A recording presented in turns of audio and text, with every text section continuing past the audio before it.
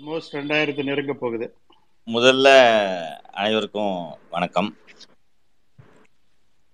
ஆஹ், தொடக்கத்திலேயே டெல்லியை சேர்ந்த என்னுடைய வழக்கறிஞர்கள் திரு ரோமில் பத்தக் திரு அரவிந்த் வழக்கறிஞர் கோடேந்தி வழக்கறிஞர் திரு ரமேஷ் வழக்கறிஞர் திரு சண்முகம். இவை தவிர I can't name all of them நூற்றுக்கணக்கான வழக்கறிஞர்கள் வந்து பல்வேறு தரப்புல இருந்து விடுதலைக்காக தொடர்ந்து முயற்சி செய்து கொண்டு வந்தார் அண்டு இதில் என்னன்னா கொஞ்சம் கோஆர்டினேஷன் லேக் இருந்ததுன்றது உண்மைதான். But those were initial teething problems அதை குயிக்காக ரெக்டிஃபை பண்ணிட்டாங்க. And continuously there are holidays nobody were in a position to do anything and around twenty designated senior councils refused to take up the brief.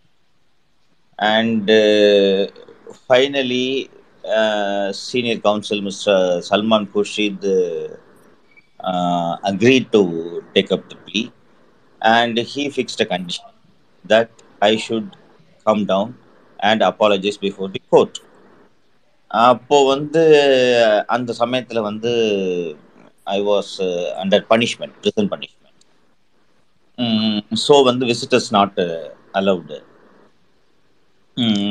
இந்த சீக்வன்ஸில் தான் uh, நான் அந்த admission சமயத்திலேயே வந்து என்னை மதுரையில் ஸ்ட்ரெயிட்டாக எடுத்துகிட்டு போன உடனே in spite of the court orders மதுரையில் வைங்க அப்படின்னு சொன்ன உடனே அண்ட் ஃபார் செக்யூரிட்டி ரீசன்ஸ்னு சொல்கிறாங்க அதில் உண்மை இருக்குன்ட்டு நான் நம்புறேன். There was there was really security threat so அங்கேருந்து கடலூருக்கு பிரிசனுக்கு என்ன எடுத்துட்டு வந்தப்போ எனக்கு இந்த மாதிரி இருக்கும் அப்படின்ட்டு நான் இமேஜின் பண்ணலை. அந்த நான் ஏற்கனவே வந்து ரெண்டு மாதம் வந்து டூ தௌசண்ட் எயிட்டில் வந்து புழலில் இருந்திருக்கிறேன் நான். அதனால so I know the atmosphere and uh, உள்ள அந்த அட்மிஷன் சமயத்தெல்லாம் பார்த்தீங்கன்னா கொஞ்சம் ரிஃபார்ம் ஆன மாதிரி இருந்துச்சு. அண்டு பட் மற்ற எல்லா கைதிகளை ட்ரீட் பண்ணுறது போலெல்லாம் என்னை ட்ரீட் பண்ணலை. அவங்க கொஞ்சம் ஒரு ஒரு பொலிட்டிக்கல் பிரிசனராக தான் என்னை ட்ரீட் பண்ணாங்க அப்படின்னு தான் பார்க்கணும். Almost every one of the guards knew me தனித்தனியாக வந்து நிறைய பேர் வந்து இப்போ என்கிட்ட பேசி அவங்களோட கிரீவன்சஸ் எல்லாம் சொன்னதெல்லாம் நடந்துட்டுருக்கு. ஒரு பிரிசன் சூப்பரண்ட் மிஸ்டர் ஒரு செந்தில்குமார் அவர்கள் தான் வந்து ஒரு ஒரு ஒரு எப்படி சொல்கிறதுனா இவர் வந்து ஒரு திமுகவோட கூலிப்படை போல தான் வந்து இவர் செயல்பட்டார். பட் நான் ஃபிசிக்கலாக ஒரு நாள் கூட என்ன ஹார்ம் பண்ணலை. நான் that I have to tell viewers in fairness அதுபோல் என்ன ஃபிசிக்கல் ஹார்ம்ன்றது சுத்தமாக இல்லை. பட் ஒரு ப்ரிசனில் வந்து நீங்கள் யூஆர் அண்டர் லாக் உங்களுக்கு வந்து டுவெல் ஹவர்ஸ் வந்து உங்களோட மூமெண்ட்டு கட்டைல் பண்ணப்பட்டிருக்கு. நீங்கள் ஒரு ரூமை தாண்டி வெளியில் வர முடியாது. இது எல்லாத்தையும் விட உங்களுக்கு வெளியுலகத்தோட தொடர்பு சுத்தமாக இல்லை. வழக்கறிஞர்களோட தொடர்பு மட்டும்தான் உங்களுக்கு இருந்துகிட்டு இருக்கும் அப்படி இருக்கும்போது தான் என்னை வந்து விஜிலன்ஸ் அண்ட் ஆன்டி கரப்ஷனில் நான் வந்து சஸ்பென்ஷனில் இருந்தது உங்களுக்கு பெரும்பாலானோருக்கு தெரியும் என்று நினைக்கிறேன். அதிலிருந்து என்ன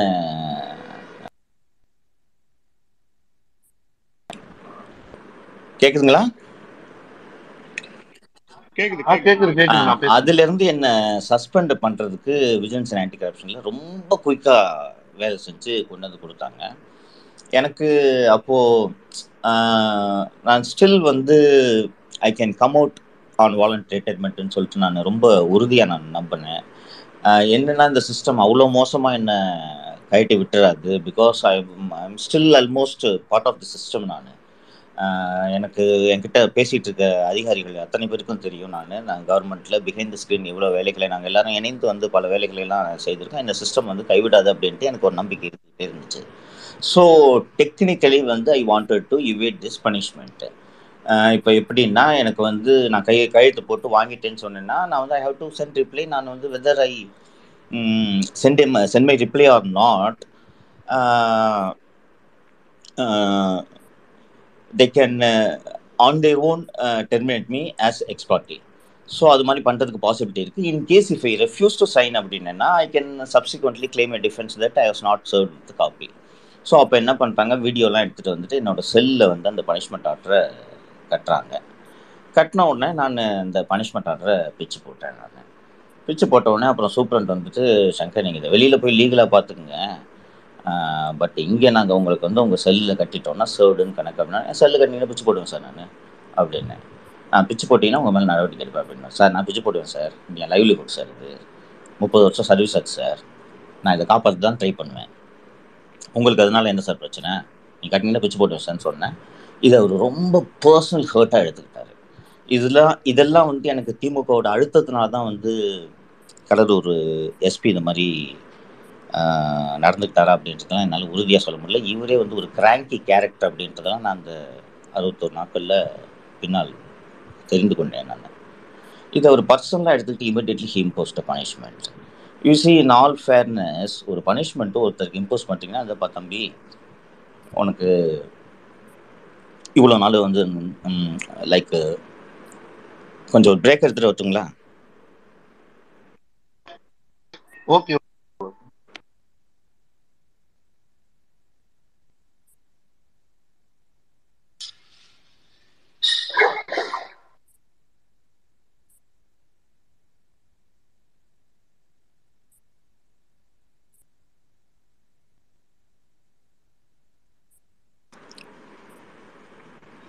கேட்குதுங்களா ஆ கே- அண்ணா பேசுங்க பேசுங்க கேக்குது. கேக்குது. ஸோ நான் சூப்பரண்ட் கிட்ட நான் ஆர்கியூ பண்ணுறேன் நான். இந்த மாதிரி சார் எனக்கு இந்த என்னோட livelihood I cannot afford to do this you please understand you're also government சர்வெண்ட்னு சொன்னேன். அவர் பனிஷ்மெண்ட் இம்போஸ் பண்ணியிருக்காரு. ஸோ எனக்கு பனிஷ்மெண்ட் இம்போஸ் பண்ணாங்கன்னா எனக்கு முதல்ல வந்து ஹூ இஸ் த கன்சர்ன் பர்சனோ அவங்களுக்கு அந்த பனிஷ்மெண்ட்டை கன்ஃபார்ம் இதுக்கு கம்யூனிகேட் பண்ண வேண்டிய அவசியம் வந்து சூப்பரண்ட் அவர்களுக்கு இருக்குது ஸோ நான் எனக்கு ரெண்டு நாள் வந்து எனக்கு அட்வொகேட்ஸ் டெய்லி எனக்கு வராமல் இருந்தவொடனே தான் எனக்கு ஃபஸ்ட்டு ஃபஸ்ட்டு சந்தேகம் வருது. கடைசியத்த நண்பர்கள் நான் வீரப்பன் அவர்கள் தான் வந்து என்னை பார்த்துட்டு போனார். அதுக்கப்புறம் ரெண்டு நாள் வரலன்னா I start suspecting suspecting something அதுக்கப்புறமும் டெய்லியும் வந்து பிரிச மிஸ்டர் ஜெயிலர் வந்து கம்ப்ளீட்டாக அந்த பிரிசன் ஃபுல்லாக வந்து ரவுண்ட்ஸ் வரணும். மார்னிங் இட் இஸ் மேண்டேட்டரி அது மாதிரி வரும்போது அவர்கிட்ட நான் கேட்குறேன் சார் எனக்கு பனிஷ்மெண்ட் இம்போஸ் பண்ணிருக்கீங்களான்னு கேட்குறேன். ஆமாம் அப்படின்னு. நான் தானே சார் அந்த கன்சர்ன் பர்சன் எனக்கு வந்து பனிஷ்மெண்ட் இம்போஸ் பண்ணது கூட எனக்கு கம்யூனிகேட் பண்ணலன்னா என்ன மாதிரியான அட்மினிஸ்ட்ரேஷன் நீங்கள் நடத்துறீங்கன்னு சொன்னோன்னே தப்பு தான் உனக்கு வந்து முப்பது நாள் பனிஷ்மெண்ட் இம்போஸ் பண்ணியிருக்கு அப்படின்னு சொல்லிட்டு சொன்ன உடனே நான் அதை கூட நான் பெருசாக எடுத்துக்கல. சரி ஓகே நார்மல் ஃபுட்டு சாப்பிட்டுக்கலாம். நமக்கு கேன்டீன்லேருந்து எதுவும் வாங்க வேண்டாம் அப்படின்ற மாதிரி ஐடியாவில் தான் இருந்தப்போ எனக்கு கண்டினியூஸாக அட்வொகேட் கம்யூனிகேஷன் எனக்கு கட் பண்ணோன்னா ஐ காட் வைல்ட் சார் இதுக்கு மாதிரிலாம் பண்ணிட்டு இருந்தீங்கன்னா நான் வந்து I have to undergone of fast அப்படின்னு சொல்லிட்டு இமீடியட்டாக நான் லெட்டர் எழுதி கொடுத்துட்டு சூப்பரண்ட்கிட்ட நான் ஃபாஸ்டிங் கம்யூனிகே கமெண்ட்ஸ் பண்ணிட்டேன். ஃபாஸ்டிங் இருக்கேன் ஃபாஸ்டிங்னா வந்து வெறும் வாட்டர் மட்டும்தான் வேறு எதுவும் எடுக்க மாட்டேன். இவங்க எல்லாருக்குமே வந்து second day and third day வந்துலாம் சந்தேகம் எப்படி வருதுன்னு கேட்டிங்கன்னா இவன் திருட்டுத்தனமாக திங்கிறான்ற மாதிரி சந்தேகம் வந்து ஒரு நாளைக்கு ரெண்டு வாட்டி மூணு வாட்டி வந்து செல்லில் இந்த டாய்லெட்டெல்லாம் செக் பண்ணுவாங்க. அங்கெல்லாம் வந்து ஒழிச்சு வச்சுட்டு நான் எதையோ சாப்பிட்றேன் அப்படின்ட்டு. அப்புறம் டாக்டர்ஸ் வந்து எனக்கு ஒரு சிக்ஸ் ஹவர்ஸ்க்கு ஒரு வாட்டி என்னை வந்து செக் பண்ணிட்டு இருப்பாங்க. அவங்க பார்த்துட்டு பல்ஸ்லாம் டவுன் ஆகுதுங்க. சுகர் லெவல் குறைஞ்சிக்கிட்டே இருக்குது அப்படின்னு சொன்னோன்னே அப்புறம் ஐவி ஃப்ளூயிட் போடணும் அப்படின்னு சொல்லிட்டு சொல்லிட்டாங்க. அப்புறம் ஹாஸ்பிட்டலுக்கு எடுத்துகிட்டு போயிட்டு ஐவி ஃப்ளூயிட் வந்து ரெண்டு முறை போட்டாங்க. தேர்ட் டே முடிஞ்சிருச்சு. தேர்ட் டே வந்து யாரும் இந்த இந்த மூன்று நாட்களும் பார்த்தீங்கன்னா ஜெயிலர் வருவார் வார்டர்ஸ் வருவாங்க கைதிகளை விட்டு பேச வைப்பாங்க. சாப்பிடுங்க சாப்பிடுங்க சாப்பிடுங்க சாப்பிடுங்க தான் சொல்லுவாங்களே தவிர என்னோட இந்த இந்த கோரிக்கை இந்த மாதிரிங்க. எனக்கு பனிஷ்மெண்ட் ரத்து பண்ணுங்கன்ட்டு இந்த கோரிக்கையை நாங்கள் பரிசீலிக்கிறோன்ட்டு ஒரு வேர்டு இருக்காது. அண்டு தேர்டு டே நைட்டு என்னை வந்து ஒரு பன்னெண்டு மணிக்கு லாக்கப்லாம் திறந்து என்னை வீல் சேரில் வச்சு ஹாஸ்பிட்டலுக்கு எடுத்துகிட்டு போயிட்டு எனக்கு ஐவி ஃப்ளூயிட் போட்டாங்க. ஃபோர்த் டே மார்னிங் வந்து ஒரு டாக்டர் மிஸ்டர் வெங்கடேஷ். அவர் வந்து என்னை செக் பண்ணி பார்த்துட்டு சங்கர் உங்கள் ஐவி ஃப்ளூயிடில் இருக்கிற அந்த சுகர் தான் உங்கள்கிட்ட போய் இருக்குது ஒரு டாக்டராக நான் சொல்ல வேண்டியதை சொல்லிட்டேன். நீங்கள் வெளியில் போய் இந்த உண்ணாவிரதத்தோட கான்சிக்வன்சஸை அனுபவிக்க அனுபவிக்க வேண்டி வரும் அப்படின்றத வந்து ஒரு டாக்டராக சொல்ல வேண்டியது என்னோட கடமை. உங்கள் கோரிக்கையில் தலையிடுறதுக்கு எனக்கு உரிமை இல்லை அப்படின்னு சொல்லிட்டு போயிட்டாரு.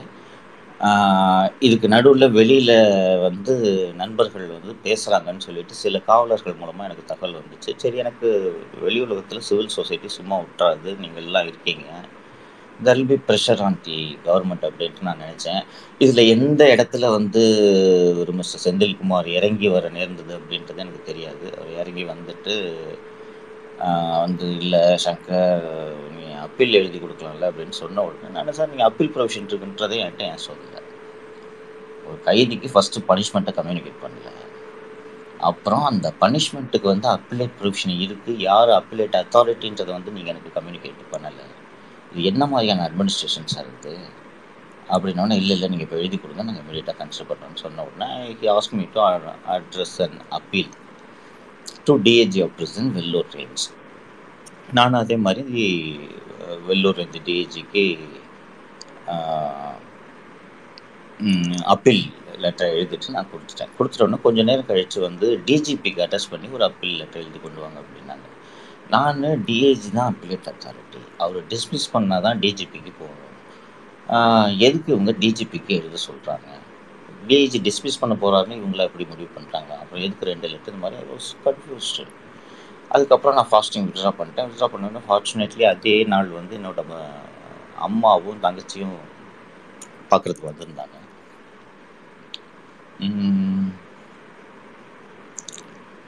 வந்த உடனே அன்னைக்கு நான் கரெக்டாக சூப்பரண்டும் வந்து இந்த மாதிரி நீ எழுதி கொடு சங்கர் லெட்டர் நான் விட்ரா பண்ணுறேன்னு சொல்லிட்டு நான் இமீடியட்டாக நான் சென்டியோர் அப்பீல் ப்ராசஸ் அப்படின்னாரு.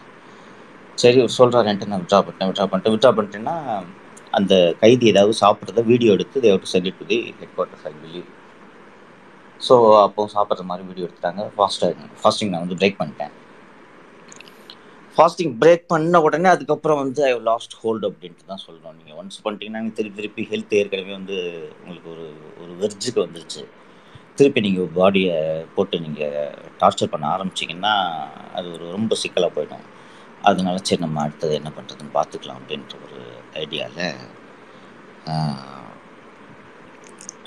நான் அந்த ஒரு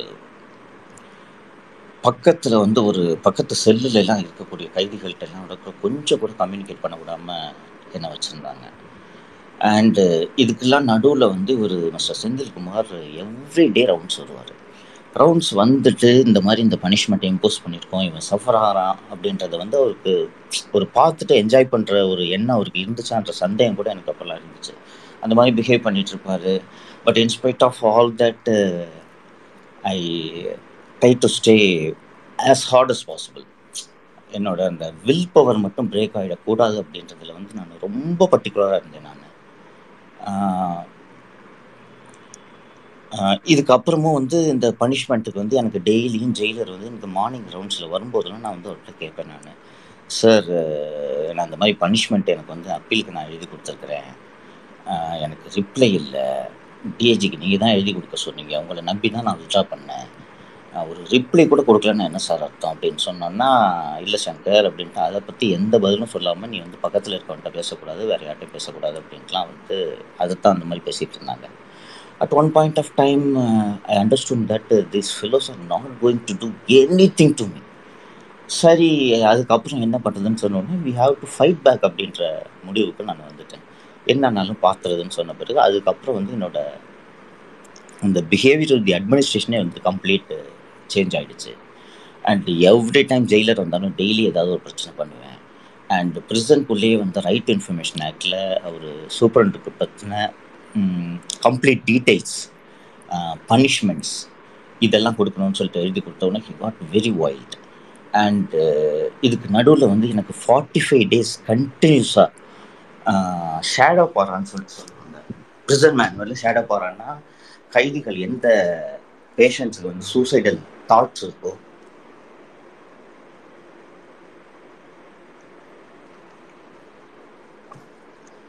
சூசைடல் தாட்ஸ் இருக்கோ அவங்கள பக்கத்திலே இருந்து பார்க்கணும் அப்படின்னு சொல்லிட்டு அந்த மேண்டேட்டரி ப்ரொவிஷன்ஸ் இருக்கும். எனக்கு அந்த மாதிரி சூசைடல் டெண்டன்சிஸ் இருக்குன்ட்டு நான் யாருக்கிட்டையும் சொல்லலை கம்ப்ளைண்ட் பண்ணல. There was no such indication forty five days வந்து என்னை கண்டினியூஸாக அந்த ஷேடோ பரவல வச்சுருந்தாங்க. இதெல்லாம் பார்த்தீங்கன்னா உங்களுக்கு ப்ரிசனில் வந்து ஒரு மென்டலாக என்ன மாதிரியான ஒரு ஒரு பெயினை க்ரியேட் பண்ணும் ஒரு ஒரு ஒரு ஒரு மனிதனோட வில் பவரை பிரேக் பண்ணும் அப்படின்றது வந்து it's a test of will power நிறைய மொமெண்ட்டில் there will be situations when will will be forced to think that you'll break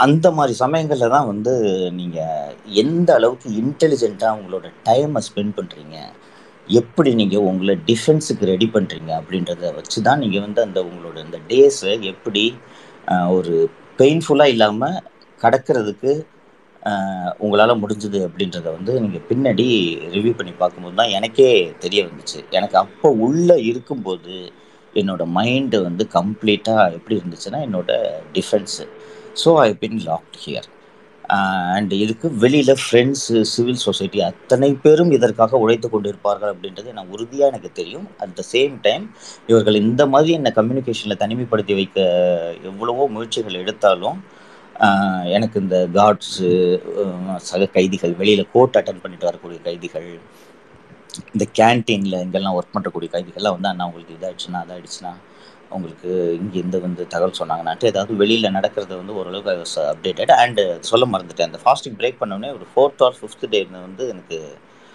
advocate allow பண்ண ஆரம்பித்தாங்க எனக்கு I got one channel of communication that was mister Akilan அவர் அவர் வந்து he was of immense help and அவர் இந்த அகிலனை வந்து எனக்கு இங்கே அப்பாயிண்ட் பண்ணது யாருன்னா ஆதன் மீடியாவோட எம்டி மிஸ்டர் சக்தி சரவணன் அவர்கள் தான் வந்து அவரை நியமனம் செஞ்சார். அவர் mister Akilan was of immense help அதுக்கப்புறம் எனக்கு வந்து ஒரு சேனல் ஆஃப் கம்யூனிகேஷன் கம்ப்ளீட்டாக எனக்கு ஒரு ரிலையபிள் கம்யூனிகேஷன் வந்துருச்சு. அண்டு இப்போ தைரியமாக சொல்கிறேன் அண்டு மிஸ் அகிலன் கிட்ட நிறைய லெட்டர்ஸ் வந்து நான் ஸ்மகிள் பண்ணியிருக்கேன்.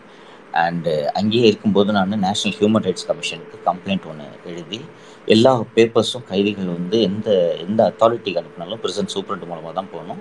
அப்போ நீங்கள் அவங்கக்கிட்ட அந்த இதை கொடுக்கும்போது அவங்க அனுப்புகிறாங்களா இல்லையான்றது there absolutely no guarantee so அந்த மாதிரி இருக்கிற சமயத்தில் என்ன பண்ணுவேன் நான் இவங்களுக்கு ஒன்று அனுப்பிச்சிட்டு இந்த லெட்டர்ஸ் எல்லாம் அந்த பக்கத்துலேயே வந்து இங்கே அட்வொகேட் கிட்ட மீட் பண்ணும்போது கூட ரொம்ப பக்கத்துலேயே வந்து assistant jailer or some other officers வந்து உட்காந்துருப்பாங்க அண்டு uh, அதனால வந்து அவங்க கிட்ட எந்த பேப்பரும் பாஸ் பண்ணக்கூடாதுன்னுவாங்க ரொம்ப ரெஸ்ட்ரிக்ட் பண்ணுவாங்க. நான் இதெல்லாம் தாண்டி எப்படி ஸ்மகிள் பண்ணுறதுன்றதெல்லாம் நான் கற்றுக்கிட்டேன் அப்புறம் அகிலங்கிட்ட கொடுத்து எனக்கு இது மாதிரி நான் பேப்பர்ஸ் அனுப்பிச்சிட்டு இருந்தேன். அப்புறம் நான் ஐ ஸ்டார்டட் ஃபைட்டிங் பேக் அப்படின்னு சொல்லிட்டு நான் சொன்னேன். அதுக்கப்புறம் வந்து எவ்ரிடே ஒரு லெட்டரை ஒன்று அட்ரஸ் பண்ணுறது அங்கேருந்து நடந்து இன்னொரு ஆஃபீஸில் தான் வந்து அஃபிஷியல் கம்யூனிகேஷன்லாம் இருக்கும். அங்கே போய் அந்த பேப்பர் ஒன்று வாங்கி சூப்பரண்டுக்கு அட்ரஸ் பண்ணி ப்ரிசன் மேனுவலோட காப்பியை கொடு இந்த காப்பியை கொடு. எத்தனை இந்த ப்ரிசனஸோட ஆவரேஜ் ஸ்ட்ரென்த் எவ்வளோ? இந்த மாதிரிலாம் வந்து ஆர்டியில் லெட்டர் அது இதுன்னு போட்டு ஆர்டிஸ்ட் ஸ்டாம்ப்ஸ் எல்லாம் வந்து ப்ரொக்யூர் பண்ணிட்டு கொடுத்து அவங்களுக்கு எவ்வளோ இரிட்டேட் பண்ண முடியுமோ பண்ண முடியும். ப- பண்ண பண்ணிக்கிட்டே இருக்கிறேன் நான். பண்ண பண்ண தான் நீங்கள் நீங்கள் உங்கள் எதிரியோட ஸ்ட்ரென்த் என்னன்றத புரிஞ்சுக்க முடியும். நான் இந்த மாதிரி பண்ண பண்ண ஏன்னா நான் தனி மனுஷன். நான் வந்து கம்யூனிகேஷன்றது எனக்கு சுத்தமாக கிடையாது. எனக்கு ஏதாவது ஆச்சுன்னா என்ன என்ன என்ன என்ன என்னை தற்காத்துக்கிறதுக்கு வந்து எனக்கு உள்ள எந்த ப்ரொவிஷனும் கிடையாது.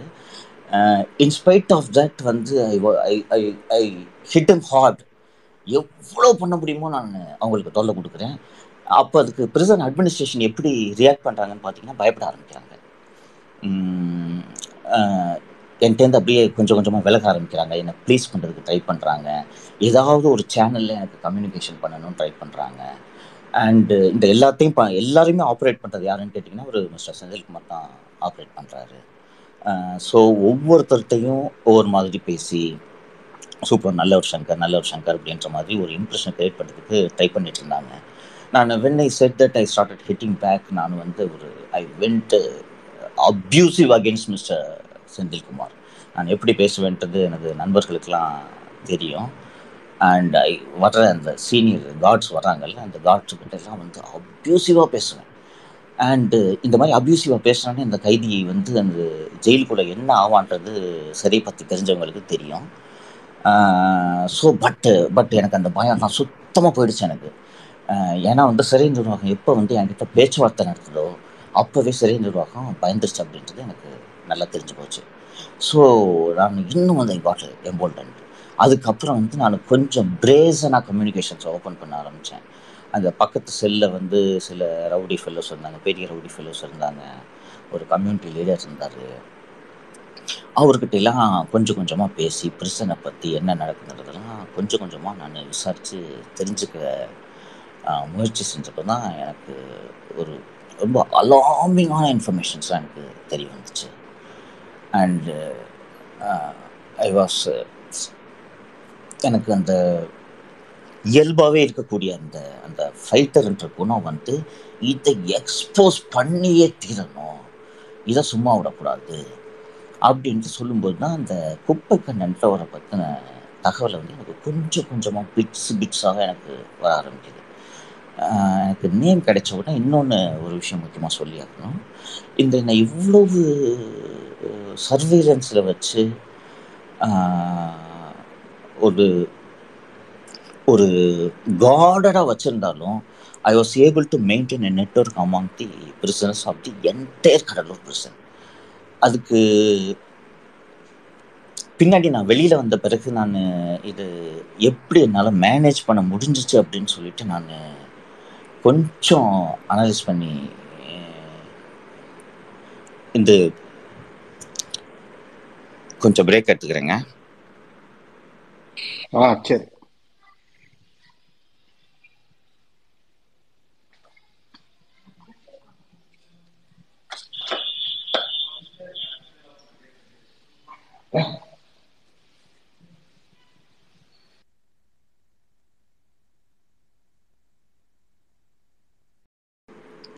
எந்த இடத்துல விட்டேன்? எப்படி உங்க அந்த அந்த நெட்வொர்க்கை நீங்க வந்து மெயின்டைன். பண்ணீங்க அப்படின்றத பத்தி பேசிட்டு இருக்கீங்க sir Shankar. Ah right yeah yeah correct communication communication communication அந்த கம்யூனிகேஷன் நெட்வொர்க்கு எனக்கு நல்லா பண்ண ஆரம்பித்த உடனே கொஞ்சம் கொஞ்சமாக இந்த தகவல்கள் குப்பக்கண்ணன்றவரை பற்றின தகவல்கள் வருது எனக்கு. குப்பக்கண்ணன்றவரை பற்றின தகவல்கள் வர ஆரம்பித்த பிறகு நான் இதை எல்லாத்தையும் கொலேட் பண்ணி கிராஸ் வெரிஃபை பண்ண ஆரம்பிக்கிறேன்.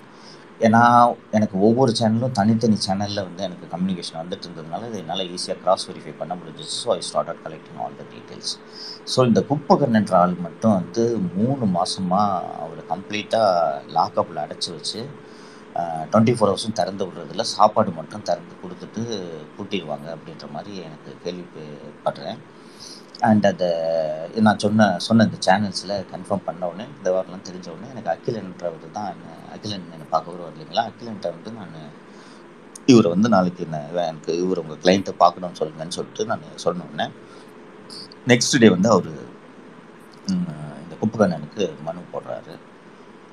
போட்ட உடனே நான் பக்கத்தில் எங்கேயோ உட்காந்துருக்கேன் போட்ட உடனே கொஞ்ச நேரம் ஏதோ பேசுகிறாங்க ஒரு ஹாஃப் அன் ஹவர் ஆகுது. ஆன பிறகு ஹாஃப் அன் ஹவரில் ஒரு டுவெண்ட்டி மினிட்ஸ் இருக்கும்.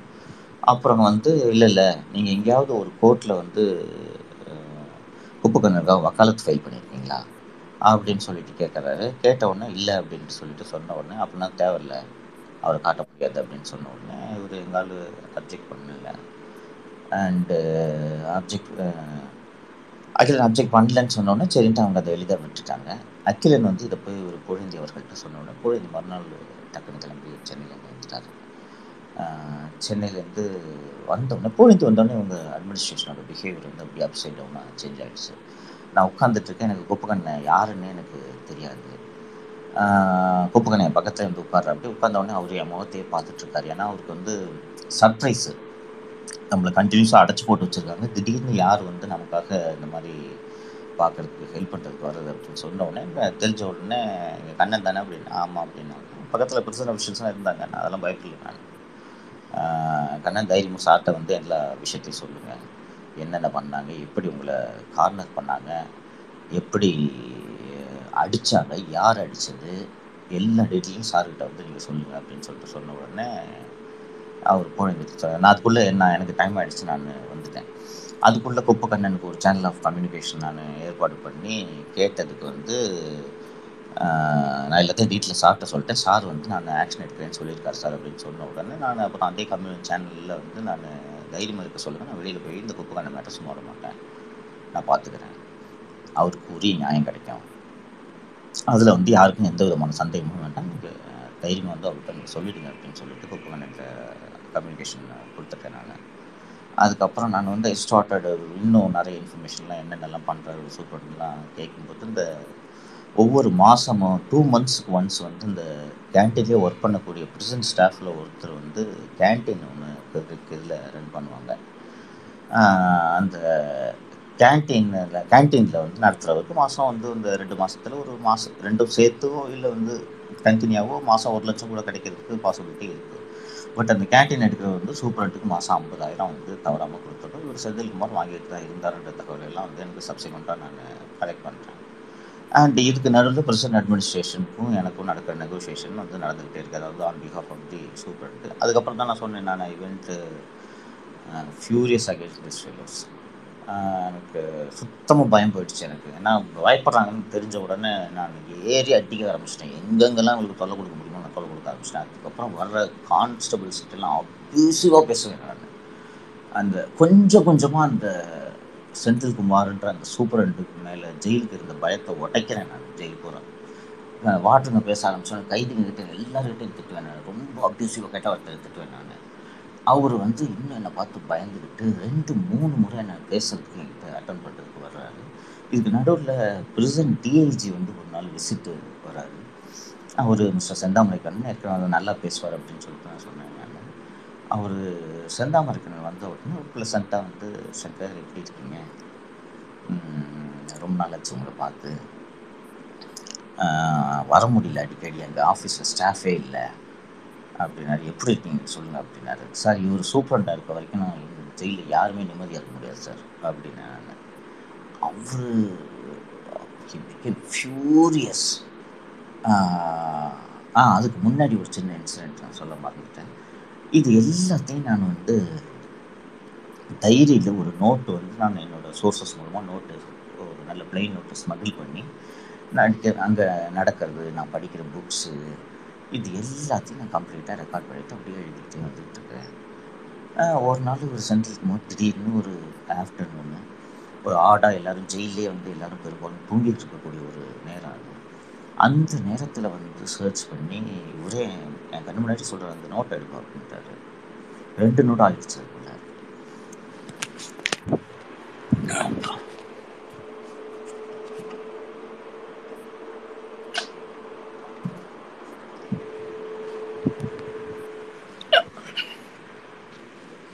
இந்த ரெண்டு நோட்டையும் அவர் சீஸ் பண்ணிட்டு போயிட்டாரு. இதெல்லாம் நடந்த பிறகு நான் வந்து இன்னும் இன்னொரு இன்னும் ரொம்ப ஃபியூரியஸாக நான் எதிர்க்க ஆரம்பிச்சிட்டேன். அதோட ஃபாலோ அவுட்டு தான் டிஏஜி அவர்களோட விசிட்டு சமயத்தில் நான் பேசினது. ஒரு டிஏஜி மிஸ்டர் செந்தாமரை கண்ணன் எப்படி சங்கர் நீங்கள் இருக்கீங்க? சொல்லுங்கள் நீங்கள் அதை சொல்லுங்கள் முதல்ல அப்படின்னு கேட்டோன்னே ஒரு சூப்பராக இருக்க வரைக்கும் இந்த ஜெயிலில் யாரும் நிம்மதியாக இருக்க முடியாது சார் அப்படின்னு என்ன சங்கர் இப்படி சொல்கிறீங்க ஏன் இப்படிலாம் சொல்கிறீங்க ஃப்ரீயாக இருக்கேன் சார் ஃப்ரீயெல்லாம் இருக்க முடியாது சார் அந்த ஒரு ரெண்டு மாதமாக எழுதிட்டுருக்கேன் ஒரு நோட்டை அந்த நோட்டை தூக்கி போனால் என்ன சார் அர்த்தம்? என் ஜெயிலில் எழுதக்கூடாதா சார் புக்கு எடுத்துகிட்டு வந்து காட்டேன். பகத்சிங் எழுதின டைரியை வெள்ளைக்காரன் பத்திரமா திருப்பி கொடுத்துருக்கான் சார். வெள்ளைக்காரன் வந்து டைரி எழுத விட்றான் நீங்கள் என்ன வந்து எழுத விட மாட்டீங்க சார் டைரி இல்லை சங்கர் அந்த வந்து நோட்டு இங்கேருந்து வந்துச்சு அப்படின்னு சார் இதை பற்றிலாம் உங்களுக்கு அக்கறை இல்லை சார். எடுத்துன்னு போங்க சென்சர் பண்ணுங்கள் இதை எழுதாதுன்னு சொல்லுங்கள் அந்த பேஜ் மட்டும் வேணால் கட் பண்ணிக்கோங்க. நோட்டை எப்படி சார் திருப்பி கொடுக்க மாட்டீங்க? அப்படின்ன உடனே தான் சுந்தர்குமார் டக்குன்னு அந்த மாதிரி ஒரு நோட்டே ஜெயிலில் இல்லை. அந்த நோட்டு இல்லவே இல்லை.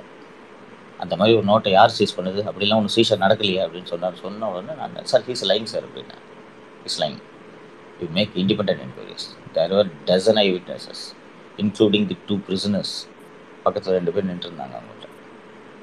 இது வந்து நீங்கள் இண்டிபெண்ட்டாக வெரிஃபை பண்ணிக்கிட்டு நோட் இருந்துச்சா இல்லையான்றதை நீங்கள் முடிவு பண்ணிக்கங்க சார் இந்த மாதிரிலாம் கொடுமைப்படுத்துகிற மாதிரி ஒரு ஜெயிலை வந்து நான் எங்கேயுமே கேள்விப்பட்டதில்லை சார் அப்படின்னு சொன்ன உடனே சொன்ன சங்கர் சங்கர் நான் என்னென்னு விசாரிக்கிறேன் சங்கர் சார் சங்கர் என்ன என்னென்னு விசாரிக்கிறேன் சங்கர் அப்படின்னாரு. சார் இந்த ஜெயிலில் எந்த பிளாக்லேயாவது டிவி இல்லாமல் இருக்குதா? எல்லா பிளாக்லையும் டிவி இருக்குது.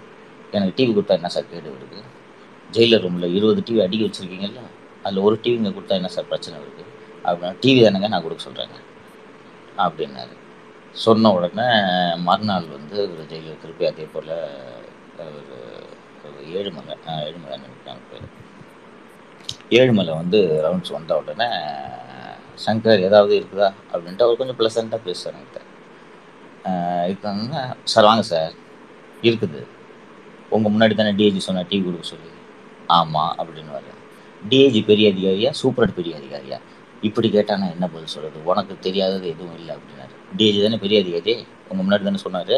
டிவிங்க சார் அப்படின்னு இதுக்குள்ளே எந்த அளவுக்கு வந்து இந்த இந்த செந்தில்குமாரோட அந்த ஸ்டேச்சர் வந்து சிறையில் குறைஞ்சி போச்சுன்னா ஜெயிலர்கிட்ட நான் இப்படி திட்டும்போது பின்னாடி இருக்க கான்ஸ்டபிள்லாம் வாயை பார்த்துட்டு என்னை பார்த்து சிரிப்பானுங்க கேட்கன்னு சிரிப்பானுங்க. மொ அதாவது அவரோட அவரோட டோட்டல் இமேஜை வந்து டிஸ்ட்ராய் பண்ணிட்டேன் நான். அதுக்கப்புறம் ஒரு நாள் இதுக்கு அவர் ஒரு அந்த செந்தில்குமார் வந்து எவ்வளோ ஒரு I don't want to use this word அதாவது எவ்வளோ ஒரு கட்ஸ் இல்லாத ஆள் அப்படின்னா கட்ஸ் கட்ஸ் இல்லாதன்னு சொல்லலாம். கட்ஸ் இல்லாத ஆள் அப்படின்னா இவ்வளோ நடந்ததுக்கு பிறகு என்கிட்ட நெகோசியேஷனுக்கு வர்றாரு. அவர் அந்த செந்தில்குமாருக்கு வந்து எப்போதுமே பயம். அதாவது அவர் ஒரு ஸ்ட்ரிக்டான ஆஃபீஸர்ன்ற அந்த இமேஜ் வந்து சவுக்கு சங்கட்டை நல்லா பேசுறதுனால உடஞ்சிருமோ என்னமோ அப்படின்னு சொல்லிட்டு எப்போவுமே வந்து இன்னொன்று தனியாக ஏதாவது பேசிட்டு தகவல் பரிமாறிட்டுறானோ ஜெயிலை பற்றி இல்லை வேறு வேற ஏதாவது பற்றி அப்படின்னு சொல்லிட்டு அவர் செந்தில்குமார் வந்து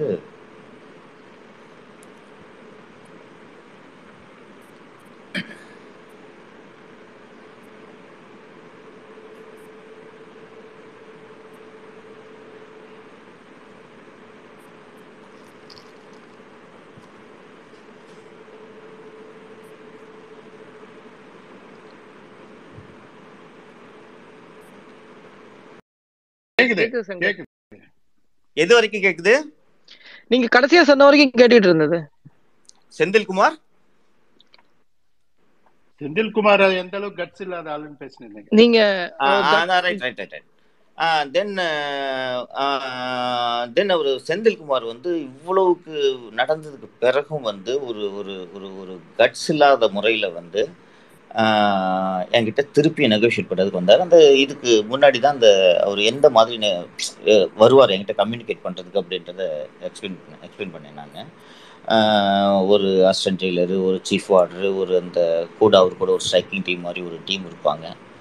அந்த டீம் மெம்பர்ஸு பக்கத்தில் இருக்க கைதிகள் இவங்க எல்லாரும் இருப்பாங்க. இவங்க எல்லாரும் இருக்கும்போது தான் நான் வந்து அவர் என்கிட்ட பேசிட்டு இருப்பேன். அது வரைக்கும் நான் ஒரு செந்தில்குமார் கிட்ட அதுக்கப்புறம் அது- அது அந்த அதுக்கு முன்னாடிலாம் வந்து சுத்தமாக பேச்சுவார்த்தை இல்லாத லெவலுக்கு ஆயிடுச்சு. வருவார் அதுக்கப்புறம் அப்பவும் அதுக்கு முன்ன அதுக்கு பிறகு வந்து ரெண்டு மூணு வாட்டி சர்ச் பண்ணுறதுக்கு வந்தார். வந்தானே பேச மாட்டேன் மூஞ்சி திருப்பி இப்படியே வச்சுட்டு இருந்திருப்பேன் நான். இதே மாதிரி தான் இருப்பேன்னு நினச்சிட்டு தான் வந்து கடைசியாக என்கிட்ட பேசுறதுக்கு கடைசியாக உள்ளபடியே ஏன்னா அப்போல்லாம் வந்து சுப்ரீம் கோர்ட்ல என் மேட்ரு லிஸ்ட் ஆயிடுச்சுன்றது வந்து தெரிய ஆரம்பிச்சிருச்சு. இப்போ இதெல்லாம் வந்து நடக்குது அக்டோ இது நவம்பர் ஃபர்ஸ்ட் வீக் ஃபர்ஸ்ட் வீக்கில் நடக்குது. வந்த உடனே ஒரு அன்னைக்கு சமாதானம் பேசலான்றதுக்காக வந்திருக்காரு. அன்னைக்கு அன்னைக்கு வந்து எனக்கு இது என்எஃப் இஸ் என்எஃப் இது சொல்லு அப்படின்றது எனக்கு எனக்கு ஃபீலிங் வந்துருச்சு எனக்கு. வந்து அங்கே ஒன்று பண்ணுறான் இங்கே ஒன்று பண்ணி நடிக்கிறான் இவன். இவனுக்குலாம் மரியாதையே கிடையாது. கவர்டு அப்படின்னு சொன்னோன்னே எல்லாரும் முன்னாடி சொல்லிட்டேன். சார் எனக்கு உங்ககிட்ட பேசுறதுக்கு விருப்பம் இல்லை. தொல்லை பண்ணாதீங்க. வெயில் போட்டுட்டு போயிடுறேன். அப்படின்னு சொன்ன உடனே அவருக்கு எல்லாரும் முன்னாடி ஸ்டப் பண்ண மாதிரி பேசின உடனே அவர் உடஞ்சிட்டா அப்படி அந்த ஒரு சிங்கம் சூர்யா மாதிரி தொடக்கத்தில் சுற்றிட்டு இருந்தார்ல அந்த இமேஜ் இமேஜ்லாம் கிரம்பிள் ஆகி நான் அது ஒரு பிரேக் ஆனது கண்ணு முன்னாடி பார்த்தேன் நான். கொஞ்சம் கூட மெர்சி இல்லை எனக்கு. அதுக்கப்புறம்லாம் இன்னும் அக்ரெசிவாக போக ஆரம்பிச்சிட்டேன் நான். கிட்டத்தட்ட ஜெயிலர் கிட்ட செந்தில்குமார் அவனே இவனேட்டெலாம் பேசுகிற அளவுக்கு ஆரம்பிச்சிட்டேன். பயந்து ஓடலாம் ஆரம்பிச்சிட்டார் அவர். இவன் நம்மளை வம்பளை இழுத்து விட்டுருவான் அப்படின்னு சொல்லிட்டு. அதுக்கப்புறம் செந்தில்குமார் என்னை பார்க்க வரதெல்லாம் சுத்தமாக நிறுத்திட்டாரு. சரி இது எல்லாம் முடிஞ்சிச்சு அப்படின்னு சொல்லிட்டு லிஸ்ட் ஆகிடுச்சு பட் நான் வந்து ஹண்ட்ரட் பர்சன்ட் இதை நான் சொல்லிடுறேன் நான். எனக்கு நான் ஹண்ட்ரட் பர்சன்ட் எனக்கு வந்து ரிலீஃப் கிடைக்கும் அப்படின்ட்டு நான் நம்பினேன் நான் ஏற்கனவே சொன்னேன் வெளியில் சிவில் சொசைட்டி மெம்பர்ஸ் இவங்கெல்லாம் அந்த ப்ரெஷர்லாம் இருக்கும்னு சொல்லிட்டு. நிச்சயமாக வந்து என்னோட நண்பர்கள் மற்றும் என்னோட என்னோட அந்த ப அந்த நட்பு வட்டத்தில் இருக்கக்கூடியவர்கள் முயற்சி செஞ்சு எப்படி எனக்கு ரிலீஃப் வாங்கி கொடுத்துருவாங்கன்ற நம்பிக்கை மட்டும் எனக்கு நிச்சயமாக இருந்துச்சு எனக்கு நான். ஏன்னா என்னோட கேஸ் ஜெயிக்கும் நியாயம் என் பக்கம் நியாயம் இருக்குது அப்படின்னு சொல்லிட்டு நான் உறுதியாக நம்பினேன். உச்சநீதிமன்றத்தின் மீது மிகப்பெரிய நம்பிக்கை நான் வைத்திருந்தேன்.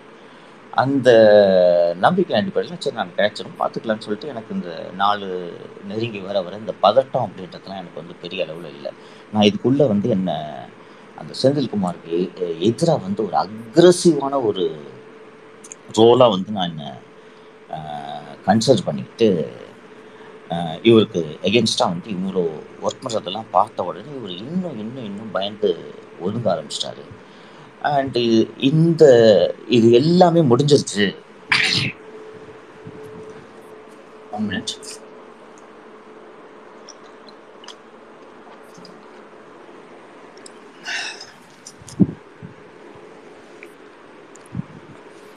ஸோ இது எல்லாம் முடிஞ்சிருச்சு. லிஸ்ட் ஆகிடும் எனக்கு ரிலீஃப் வந்து கண்டிப்பாக கிடைக்கும்.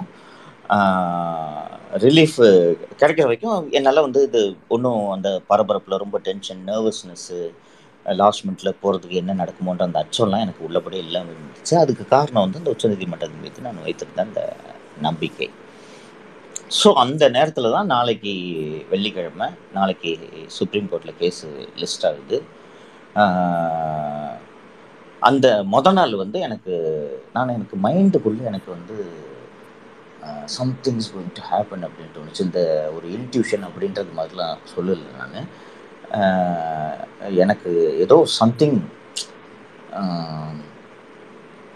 இவங்க என்ன சும்மா விட மாட்டாங்க திமுக இதை பயன்படுத்துவாங்க அப்படின்ற மாதிரி ஒரு விஷயம் எனக்கு தோணுச்சு. ஏன்னா இவர் திரு அகிலன் வந்து என்கிட்ட கம்யூனிகேட் பண்ணுறதுக்கு ஆல்மோஸ்ட் டெய்லி அவர் வந்துடுவார் கம்யூனிகேட் பண்ண வரும்போது அவர் சொல்கிற அந்த இன்ஃபர்மேஷன் எல்லாமே எனக்கு வந்து சம்திங் இஸ் குக்கிங் அப்படின்ற ஃபீலிங் எனக்கு கொண்டு வந்துச்சு. ஏன்னா ஒவ்வொரு மூவும் இவர் சொல்லுவார்ல நான் இங்கே போய் இதை பண்ணணும் இங்கே வந்து இது பிரேக் ஆச்சு. அவங்க ஃபேமிலியில் வந்து இங்கே ட்ரை பண்ணாங்க அங்கே வந்து இது பிரேக் ஆச்சு. இங்கே ட்ரை பண்ணாங்க. டெல்லியில் வந்து ஒரு இத்தனை கிட்டத்தட்ட இந்த இத்தனை இருபது சீனியர் கவுன்சில்ஸ் வந்து ரிஜெக்ட் பண்ணிட்டாங்க. அண்டு uh, இங்கே சில பேர் வந்து இதை எப்படி அக்ரவேட் பண்ணுறது எப்படி வந்து ஃப்ரஸ்ட்ரேட் பண்ணுறது ஏன்னா இப்போ அதுக்குள்ளே எல்லாருக்குமே வந்து இந்த ஒரு ஒரு அரௌண்டு தேர்ட்டி டேஸ்ன்ட்டு நான் நினைக்கிறேன். எனக்கு ஒர்க் பண்ண டீம் எல்லாருக்குமே வந்து ஃபேக்டிங் செட் ஆக ஆரம்பிக்குது. என்னென்ன they don't know which doors to knock they're blind ஆனால் தே ஆர் கெட்டிங் ரொம்ப uh, ஆன்சியஸ் ஆகுறாங்க. சின்ன Shankar கஷ்டப்படுறார். Something you to do something you to do you not able to do anything and இந்த ஃப்ரஸ்ட்ரேஷனில் வந்து எல்லாருக்கிட்டையும் சண்டை இழுத்து வச்சுருக்கான் ஒருத்தருமே உதவ மாட்டுறாங்க எந்த கட்சியாவது விட்டு வச்சிருக்கானா ஒரு கட்சி விடாமல் ஒரு அதிகாரி விடாமல் பேசி வச்சிருக்காட்டு மாதிரிலாம் எல்லாருக்கும் அந்த ஃப்ரஸ்ட்ரேஷன் கோவத்தில் அன்பின் காரணமாக இப்படி நம்மளை கஷ்டப்படுத்திட்டு போயிட்டானே அப்படின்ற அன்பின் காரணமாக அவங்க எல்லாம் சேர்ந்து முயற்சி பண்ணுறாங்க அண்ட் அதில் ஒரு ஒரு க்ரௌட் ஃபண்டிங் பண்ணலாமா அப்படின்ற ஒரு ஐடியா வரும்போது இல்லை இல்லை வேண்டாம். அது ஒன்றும் பெருசாக தொகை ஆகாது. நம்ம வந்து வீட்டுக்குள்ளே நமக்குள்ளே வந்து ஷேர் பண்ணிக்கிட்டு இதை செய்வோம். அப்படின்ட்டு எல்லாரும் டிசைட் பண்ணி பட்டு பட்டு பட்டு பட்டுன்னு ஒரு நாளில் பணம் எல்லாரும் போட்டுட்டாங்க அந்த நண்பர்கள் ஒருவர் கூட வந்து பெயர் வெளியில் சொல்வதற்கு விரும்ப மாட்டார்கள் என்ற காரணத்தால் அவர்களோட அந்த விருப்பத்தை பதிவு செய்வது வந்து என்னுடைய கடமை என்று